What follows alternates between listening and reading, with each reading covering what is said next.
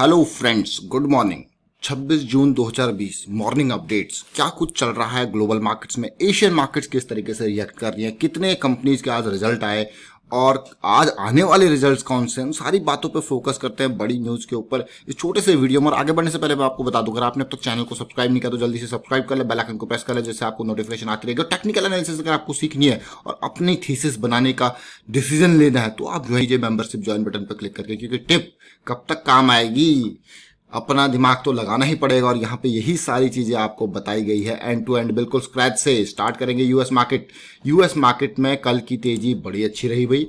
ये मार्केट की तेज़ी अगर मैं देखूँ डाउ जोन्स को 300 पॉइंट तेज देख रहा हूँ मैं यहाँ पे देखिए।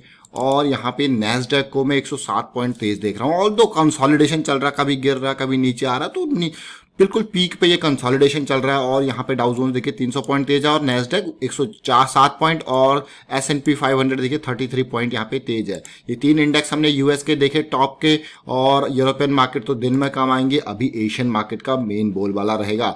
सिंगापुर निफ्टी पॉजिटिविटी कल की डेट में आपने निफ्टी का कैंडल देखा होगा, एक इनडिसीजन वाला कैंडल ज़रूर बना था।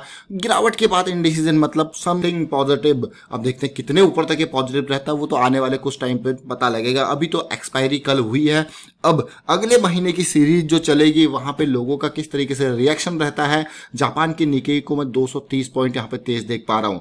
और अगर मैं बात करूँ स्ट्रेट टाइम्स देखिए हैंग सेंग 108 पॉइंट नेगेटिव है। ताइवान वेटेड तो मार्केट ज़्यादातर फ्लैट सिचुएशन में पड़ी है या फिर हल्का सा पॉजिटिव है? तो मेजरली यही है। फ्लैट या फिर हल्का सा पॉजिटिव है मेजर मार्केट्स अगर बात करूँ एशिया की। तो सिचुएशन यह है कि अब जो सिचुएशन आ चुकी है पूरे के पूरे वर्ल्ड में, कुछ मार्केट्स बिल्कुल तेज़ी से, जैसे नेस्डेक जैसे ऑल टाइम हाई पे पहुँच गई। यानी कि लॉकडाउन पीरियड से पहले वाले लेवल पे वो पहुँच गई। अब वहाँ पे अब लोगों को समझ में नहीं आ रहा ये ओवर वैल्यूड है या क्या है, अब खरीदें या नहीं खरीदें। तो ये सिचुएशन देखिए। और उसके चक्कर में आपको प्रॉफिट बुकिंग भी टाइम टू टाइम देखने को मिल सकती है इन बिटवीन जिन्होंने बॉटम पे खरीदा है।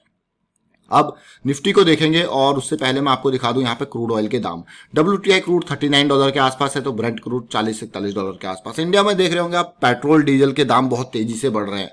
लेकिन मेन बात यह है कि जब पेट्रोल, डीजल डब्ल्यू और ब्रेंट क्रूड आपने देखा होगा, बिल्कुल नीचे गिर रहे थे तो उस टाइम पे इंडिया ने इतनी ज़्यादा तेज़ी से गिरावट देखने को नहीं मिली। लेकिन अब ये बढ़ रहे हैं तो साथ के साथ प्राइसेस भी बढ़ रहे हैं। क्योंकि इंडिया की अपनी एक कैलकुलेशन होती है प्राइसेस की, बहुत सारे टैक्सेस उसमें इंक्लूड होते हैं। जब गिरता है तो फिर गवर्नमेंट उसका अच्छा खासा फ़ायदा यहाँ पे लेती है और गवर्नमेंट को अपने एक्सपेंसिस कहाँ से करेगी? और पेट्रोल, डीजल एक बहुत बड़ा होता है अपने एक्सपेंसिस को यहाँ पे मैनेज करने का। यहीं से ही बहुत सारा टैक्स जो है सरकार के पास जाता है। अब ये देखिए, कल की डेट में जब हम लो की बात कर रहे थे कि निफ्टी ने, ये सिंगापुर निफ्टी का चार्ट है।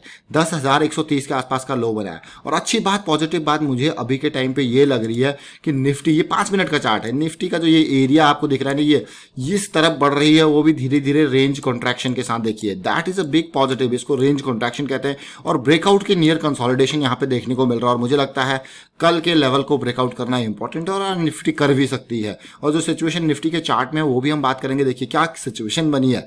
परफेक्ट ब्रेकआउट की टाइमिंग बन रही है और इसमें अब इंपॉर्टेंट बात, ये सारी चीज़ें अगर आप देखोगे तो ये बहुत बेसिक ईजी लगेंगी। जब आपको टेक्निकल एनालिसिस के बारे में पता होगा कि किस तरीके से डायरेक्शन है। फ़िलहाल करंट लेवल जो निफ्टी का मैं देख पा रहा हूँ, वो ये है कि दस का यहाँ पे दस हज़ार तीन सौ मान लीजिए राउंड ऑफ़ करके आप देखिए, ये करंट सिचुएशन है। टेन टू नाइन सिक्स, दस हज़ार दो सौ छियानबे। अब यहाँ पे आज बहुत सारे स्टॉक्स के जो है, रिज़ल्ट भी आए हैं, जो कल की डेट में आए हैं और आज आने भी हैं। जरा एक नज़र इन पर डालते हैं। बहुत सारी कंपनीज़ ने डिविडेंड दिया है। ग्राइंड वेल नॉर्टन, साढ़े सात रुपये का डिविडेंड अनाउंस किया बहुत ही अच्छी बात है भाई। और स्टॉक देखोगे तो पाँच सौ के आसपास का स्टॉक ये है। उसके अलावा देखिए P N C Infratech 1412 crore का ऑर्डर मिला है। बहुत ही अच्छी बात है भाई ये। 1412 करोड़। इसके अलावा देखिए, और यहाँ पे मैं देखूँ आयन एक्सचेंज टॉप की कंपनी है, देखिए आयन एक्सचेंज डेढ़ रुपये का डिविडेंड इसने डिक्लेयर किया है यहाँ पे। उसके अलावा मैं बात करता हूँ कंटेनर कॉपरेशन देखिए, इसने फाइनल डिविडेंड दो रुपये पिचासी पैसे का डिक्लेयर किया है। सूर्य रोशनी, इसने भी यहाँ पे एक्सपेंशन प्रोग्राम की बात हो रही है सूर्य रोशनी की। उसके अलावा देखिए प्रिंस पाइप्स का कल रिज़ल्ट आया है अच्छा खासा ग्रोथ देखने को मिल रहा है। और अशोक लेलैंड का रिज़ल्ट आप देख सकते हो कि किस तरीके से भाई अशोक लेलैंड का रिज़ल्ट 712 करोड़ से प्रॉफिट गिर के 18 करोड़, बड़ा झटका मैं कहूँगा इसको। 100 परसेंट का डिप देखिए, किस तरीके से कितनी बड़ी गिरावट ये है। और इसके अलावा आयन एक्सचेंज का जब हम प्रॉफिट की बात करते हैं तो देखिए, पैंतीस करोड़ का प्रॉफिट देखिए, सत्ताईस अट्ठाईस करोड़ पे यहाँ पे देखने को मिल रहा है। ये पिछले क्वार्टर के नतीजे हैं। कंटेनर कॉर्पोरेशन का प्रॉफिट आप देखोगे, आपको खुश हो जाओगे। और 180 करोड़ 180 करोड़ ये आपका रहा। 357 करोड़ का पिछले फाइनेंशियल ईयर में लास्ट क्वार्टर यानी कि मार्च क्वार्टर का और इस फाइनेंशियल ईयर का देखिए 301 करोड़ 12 परसेंट का डिप अब ये देखिए, यहाँ पे अगला है हमारे पास अपोलो हॉस्पिटल बिल्कुल ध्यान देना मंथली ब्रेकआउट बन रहा है, कल भी वीडियो बनाया और चौदह जून को भी इसका वीडियो क्रिएट किया गया इसको, बिल्कुल। क्योंकि यहाँ पे पॉजिटिविटी दिख रही है टेक्निकल में भी 80 करोड़ का प्रॉफिट यहाँ पे, दो करोड़ के आसपास बड़ा जंप मुझे दिख रहा है। ब्लास्ट होता हुआ दिख रहा है शेयर में।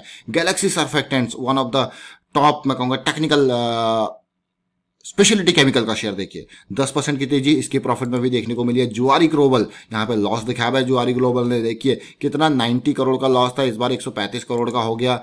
वही देखिए के इसकी अगर डिटेल देखें यहाँ पे तो इकतालीस परसेंट प्रॉफिटेबिलिटी डिप हुई है और इंडियन ओवरसीज बैंक जरा देखिए बिल्कुल ध्यान से इंडियन ओवरसीज बैंक जो लॉस था पिछली बार दो हज़ार करोड़ का, इस बार एक करोड़ का प्रॉफिट है। बहुत बढ़िया India bull venture India bull housing तो आपने देखा होगा, जरा वेंचर को भी देखे, एक सौ नौ करोड़ का प्रॉफिट था लास्ट ईयर इस बार कितना हो गया 333 करोड़ का लॉस यही नहीं सूर्य रोशनी की अगर हम डिटेल देखें, यहाँ पे 32 करोड़ का 44 करोड़ से 29 करोड़ का प्रॉफिटेबिलिटी तो आपने ओवरऑल ये प्रॉफिट्स की डिटेल देखी और आज के रिजल्ट्स पे फोकस करते हैं देखिए। आज किन कंपनीज़ के रिजल्ट्स आ रहे हैं, उनको अगर देखोगे तो बहुत काम की चीज़ देखिए क्या क्या कोई बड़ी कंपनी है। बिल्कुल यहाँ पे अगर देखें, हम के आई का रिज़ल्ट तो कल ही आपको देखने को मिल गया था, छब्बीस को। ये, चलते हैं स्टार्टिंग से। फ़र्स्ट उससे एक है एवीवीएल और अगर मैं देखूँ यहाँ पे और कोई अपोलो एपीएल अपोलो ये बड़े नाम है जो रिज़ल्ट आने वाले हैं। टॉप के नाम है मतलब जो लाइमलाइट में रहा करते हैं, ये है। उसके अलावा स्टॉक्स में हमारे पास और लिस्ट देखते हैं। नेक्स्ट पेज में हमारे पास अभी आज की डेट में जो मुझे देखने को मिल रहा है, ऐसा कोई बड़ा नाम, एक डीसीएम है, जो आज एक बड़ा नाम जिसका रिज़ल्ट आने वाला है डीसीएम के अलावा। और हमारे पास अभी यहाँ पे ऐसे कोई बड़ा कोल इंडिया कोल इंडिया का रिज़ल्ट आने वाला है, आज की डेट में याद रखें। इमामी लिमिटेड आज रिज़ल्ट आने वाला है, ये बड़े नाम है। ग्लैनमार्क का रिज़ल्ट आने वाला है। आपने देखा होगा, ग्लैनमार्क बहुत तेज़ी से भागा था, उसका रिज़ल्ट आज आने वाला है, ये ध्यान दीजिए। और यहाँ पे कोल इंडिया की हम बात करें तो आप ये देख सकते हो कोल इंडिया का आज का रिज़ल्ट है। तो ये ये बड़े बड़े नाम हैं जिनके रिजल्ट्स आज की डेट में आने वाले हैं। तो क्योंकि क्या होता है कि रिज़ल्ट से पहले हलचल देखने को मिलता है और इंट्राडे की बहुत सारी अपॉर्चुनिटीज़ उस हलचल में मिल जाती हैं। यही आईआरसीटीसी का आज रिज़ल्ट आने वाला है। देखिए आईआरसीटीसी बहुत ही इंपॉर्टेंट आज की डेट का रिज़ल्ट आई का जैसे रिज़ल्ट आएगा, आपको अपडेट कर दिया जाएगा। फ़िलहाल अगर मैं आगे देखूँ यहाँ पे, और और जो मेजर नाम है आईआरसीटीसी के अलावा भी और कोई नाम यहाँ पे जब मेजर नाम है नहीं तो आप देख सकते हो कि क्या किस तरीके से परफॉर्मेंस होती है, वो इम्पोर्टेंट बैठती है। 26 जून आईआरसीटीसी आज की डेट का रिज़ल्ट और नेशनल एल्यूमिनियम कंपनी उसके अलावा कजारिया सिरेमिक ये भी बड़े नाम आज के रिज़ल्ट में जो है आपके लिस्टेड है, उसमें आज बहुत सारी कंपनीज़ के रिज़ल्ट आने वाले हैं, जैसा मैं देख पा रहा हूँ, यहाँ पे बहुत सारी कंपनीज़ के रिज़ल्ट देखते हैं, क्या कुछ होता है, कौन सी कंपनी आज अच्छा परफॉर्म करती है, क्योंकि आईआरसीटीसी जैसी कंपनीज़ के आज रिज़ल्ट आपके सामने आएँगे। और उसके अलावा ये ओवरऑल रिजल्ट्स हैं जो मैंने टॉप के रिजल्ट्स आपको दिखाए हैं। उम्मीद करते हैं आज अच्छे रिज़ल्ट आए जरा जल्द चलते हैं निफ्टी के चार्ट के ऊपर फोकस करते हैं कि वहाँ पे आ, क्या कुछ चल रहा है निफ्टी के। सन टीवी का भी आज की डेट पे रिज़ल्ट है और निफ्टी के चार्ट को जरा ध्यान से देखिए। निफ्टी के चार्ट पिछले मंथ की कैंडल को अगर आप देखोगे तो बहुत बड़ी बाइंग प्रेशर देखने को मिल रही थी और उस बाइंग प्रेशर का एग्जीक्यूशन आपने देखा किस तरीके से निफ्टी ने दस पाँच के लेवल को टच किया। वीकली चार्ट पे चलते हैं और समझने की कोशिश करते हैं। वीकली चार्ट पर अगर आप सिचुएशन देखो तो देखिए तेज़ी करेक्शन तेज़ी और अभी फ़िलहाल जो है, ये पीक को टच करके अपना थोड़ा सा डाउन साइड मोमेंटम दिखा रहा है, लंबी अपर शेडो देखने को मिल रही है। और ऑल आज लास्ट डे है वीक का तो आज के मोमेंट में डिपेंड करता है ये बॉडी कितनी बड़ी होती है। ये बॉडी डाउन साइड में जाती है, या बॉडी अप साइड में जाती है? ये सिचुएशन आज की डेट में देखने को मिलेगी। सिचुएशन कुछ ऐसी है, अगर मैं डेली टाइम फ्रेम पर देखूँ तो सिचुएशन मुझे काफ़ी इंपॉर्टेंट लग रही है, क्योंकि बड़ी कैंडल के बाद ये छोटी कैंडल बनना ऑल ये इंडिसीजन की कैंडल भी कहला सकती है बट आगे ये देखिए। इस लाइन को बिल्कुल ध्यान से देखिए इस कैंडल को। ये बियरिस एनगल्फिंग पैटर्न पैटर्न में कहता हूँ इसको देखिए। ये डाउन आया है। अब ये करेक्शन जिस तरीके से कल की डेट में तेज़ी आई है ये पॉजिटिविटी के आसार भी देखने को मिल रहे हैं क्योंकि ये ग्रीन आ, मैं कहूँगा ब्लू कैंडल जो है पॉजिटिव बुलिश कैंडल बनी है और साथ के साथ इंडिसीजन वाली कैंडल भी है। तो देखते हैं क्या कुछ रहता है। फ़िलहाल थोड़ा पॉजिटिविटी के आसार ज़्यादा है क्योंकि यूएस मार्केट में जो है उछल रही है बट ध्यान रखें, अब ये एरिया जैसा मैंने आपको बताया, दस छः सौ के आसपास का एरिया काफ़ी क्रिटिकल है। और धीरे धीरे ये एरिया पार होना तो ज़्यादा इंपॉर्टेंट रहता है। धीरे धीरे स्लोली स्लोली पार किया जाए इन एरियाज़ को तो इंपॉर्टेंट निफ्टी बैंक के ऊपर नज़र डालते हैं। निफ्टी बैंक की सिचुएशन निफ्टी से काफ़ी वीक है। जहाँ पे Nifty fifty E M A weekly को टच कर रहा है, वहाँ पे निफ्टी बैंक अभी जो है twenty E M weekly weekly से ही जो है रेजिस्टेंस खा रहा है। ये देखिए। और अभी की सिचुएशन भी अगर आप देखोगे वीकली में, निफ्टी में थोड़ा सा बॉडी एटलीस्ट बनी हुई है। यहाँ पे बिल्कुल इनडिसीजन वाली कैंडल है। यानी कि अगला वीक जो है बहुत ही खतरनाक हो सकता है अगर आज के डेट की कैंडल से पता लगे तो।